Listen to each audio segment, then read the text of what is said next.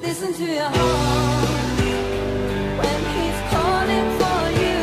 Listen to your heart. There's nothing else you can do. I don't know where you're going, and I don't know why. Listen to your heart before you tell him goodbye.